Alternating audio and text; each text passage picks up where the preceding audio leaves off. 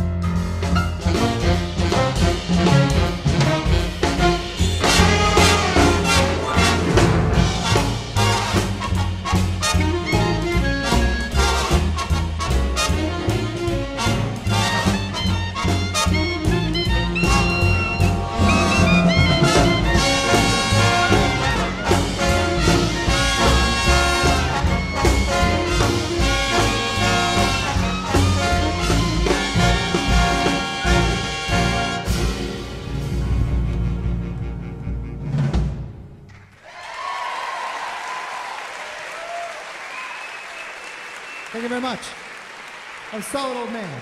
Connor Hoyt on clarinet. Geneva Raymond on trombone. We are the Foxborough High School Jazz Ensemble. We are profoundly honored to be here.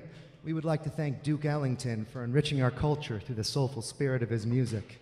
And we would like to thank our mentors that helped make our journey here today possible Mr. Jerome Jennings, Mr. James Shirillo, Miss Antoinette Henry, and Mr. Stephen C. Massey. We do love you madly. We're going to continue with Afro Bossa, featuring Joe Spagnardi on tenor saxophone, Connor Hoyt on alto saxophone, Michael Goronsky on trumpet, and we'll be closing with Brasilliance from the Latin American Suite, featuring Michael Hussey on tenor, Connor Hoyt on soprano, and Corey Hall on drum set. Foxborough High School Jazz Ensemble.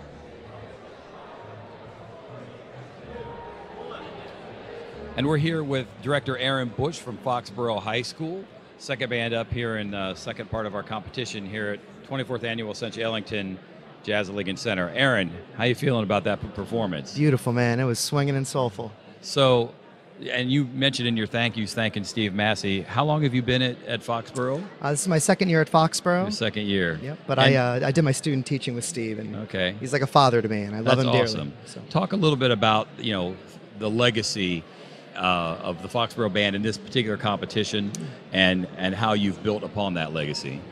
Uh, well, essentially, Ellington has always been uh, so important to us in Foxborough. It, it represents a way for us to express ourselves and share our souls and play this amazing music. Um, and we hope to continue that in the future. And it's my responsibility to give them the highest quality music and the best level of instruction I can. And we have a fantastic model in, Mm-hmm. That's awesome. in the, uh, the history of our program. Talk about your programming a little bit. You did uh, Afro Bossa, which is pretty rare. We've never heard it at a competition. yeah, man, yeah. Um, talk about that piece in particular and how you program for that and why. Uh, well, that piece re- uh, represented a way for our brass players to grow and to evolve, um, and it was part of our curriculum. And it um, it gave them a chance to develop their range, to develop Mm-hmm. their sensitivity, um, and they sound soulful on it. Yeah. And they can swing on it, and they love it too. so the other thing we want to ask you about. Um, you're giving Chris Dorsey a run for his money in terms of dance moves as a director, on, and uh, Brutal. No, we give out a, a I best see. dancer award. So you know, there's a lot of discussion amongst the judges. Okay. You know, Aaron Bush must have worked those steps out in advance. yeah, yeah, I do. It's no, it's just I, I have to take a lot of attention away from this, so I, I dance to make up for it. It's awesome. Let's get uh, one of your players Yeah, in here. man. Come over this way. Give him the microphone. And, and what is your name and what year in school? Uh, my name is Connor Hoyt. I'm a senior. Okay. And you played clarinet, soprano, and alto today. Yep, all three. I noticed that uh, you know your, your clarinet playing, your soprano playing, your alto playing were all kind of different. You know, Mhm. you had uh, a pretty serious kind of Jimmy Hamilton thing going on with uh, you know with the clarinet, and the soprano sounded completely different. Yeah. Talk about you know playing three different instruments in a competition like this. It's not easy, right? Well, no, it's not easy. Obviously, although I'm not playing brass, there is still a slight change in the embouchure. Um, but in Foxborough, um, Mr. Massey and now Mr. Bush, they, they really do stress the importance of, of doubling and, and having those doubling chops. Um, so I, I play the clarinet in the concert band. I, I'm really able to switch between the two Uh, okay. fluently, and that's okay. So were you here three years ago when you were a sophomore? Mm, uh, I was here as a sophomore, and then the year before that as a yeah, freshman as well. as a freshman. And, and how does this experience compare now as a senior versus when you were younger? Well, I mean, I have a completely new perspective on, on all types of music, jazz, and, and on life in general. Um, it's it's different, but it's it's still just as amazing, and it's Yeah. honestly a life changing experience every time I come. What are you doing next year? Um, next year, I'm going to be attending the University of Michigan for jazz studies and physics. University of Michigan. Yeah. You're heading out to the Midwest. Yep. And uh, you said jazz studies and physics. Yep. Both. Yeah. You Nothing wrong. Nothing wrong with that. No. Congratulations. Thank you. You sounded wonderful. Thanks Enjoy so the much. rest of your day. Congratulations, Aaron. And uh, we'll talk about that dance award later. So There it is. thank you very much. Yep. All right. Here we are at the House of Swing, Jazz Lincoln Center, New York.